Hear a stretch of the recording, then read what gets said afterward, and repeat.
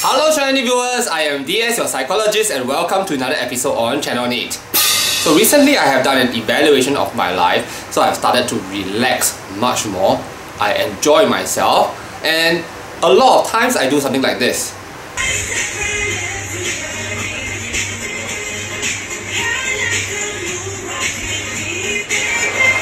So in a way I feel very blessed because I am able to weave work and play together. That's the best.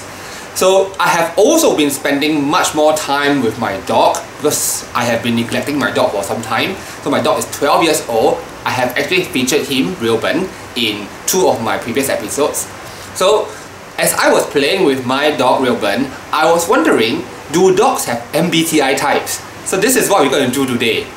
So now I'm in my hall. In Singapore, we call it the living room. What I am going to do now is to lure my dog over. Riobeun. Riobeun ah.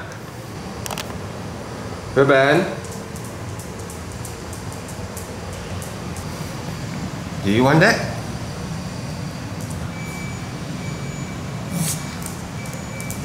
Because we speak three different languages to the dog, so I think my dog is able to understand all three different languages.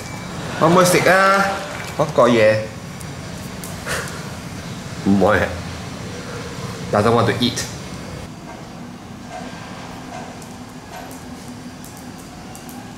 So I think Riobeun is a very fussy dog. Not every dog treat he will like. Okay, let me try a different one. Now I have taken another dog treat and I think he knows it and he's very excited about it. Look. There.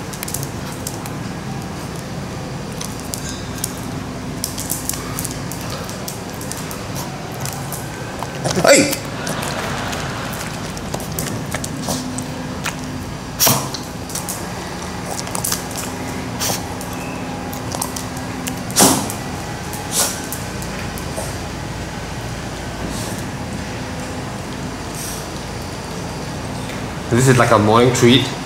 Oh, he finishes food so fast. I think some of you may be wondering, why am I just only showing clips of me feeding my dog? Actually, my dog likes to self-entertain, see?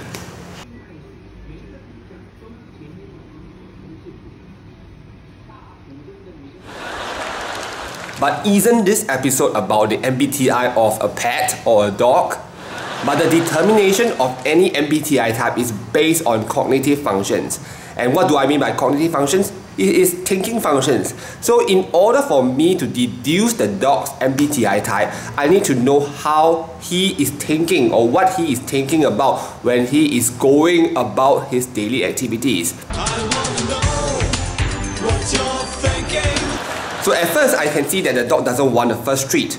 So there could be a lot of interpretations for this. He could be fussy.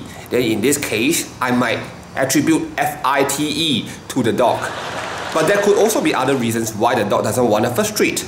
He could be testing me, then I would attribute NE to the dog. So because I will never know what the dog is thinking because the dog cannot speak, then it is almost impossible to do the MBTI of the dog. But we have an innovative way.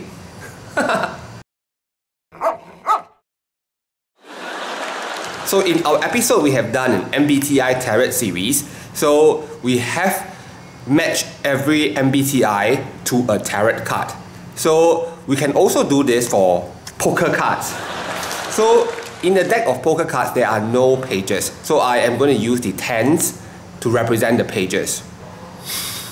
this is a very stupid way of trying to determine the MBTI type of a dog. What I'm going to do is, I'm going to place all these poker cards onto the floor and see if the dog can pick any one of them and see what the MBTI type is. We have a system of matching the MBTI type to a poker card and this is how it goes.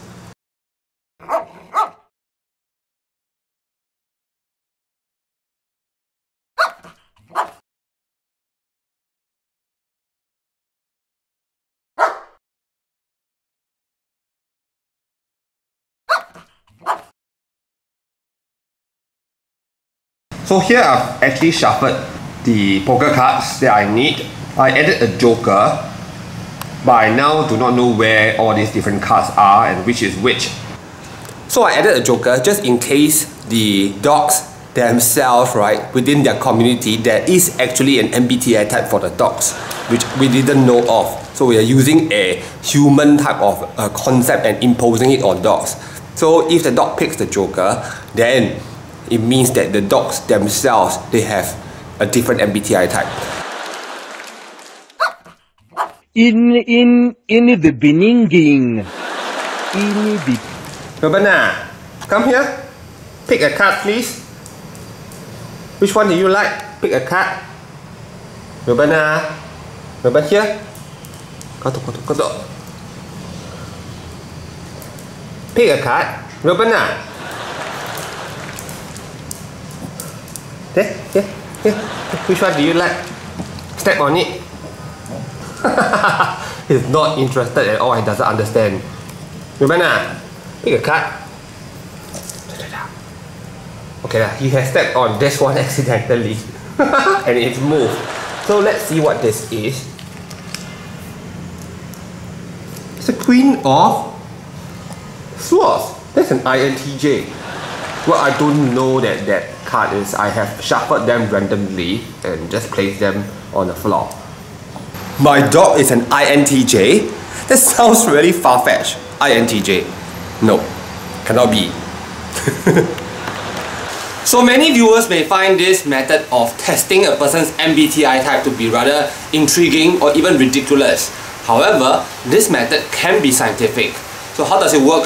So mathematically and methodologically, you can get 1600 people with known MBTI types, that means they already know what the MBTI type is for sure, based on cognitive functions and cognitive stacks, to pick a random card from the poker deck and see if it matches their MBTI type, the probability of they getting correct is 1 out of 16. So definitely you will have about 100 correct answers if, based on chi-square distribution, there are 200, then it seems as if this method has a better probability of assigning the correct MBTI type, so it might work based on intuition.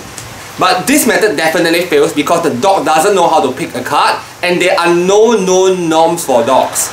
So for sure, dogs have temperaments. If you are a dog owner, if you are a cat owner, you surely know that your pets have a personality.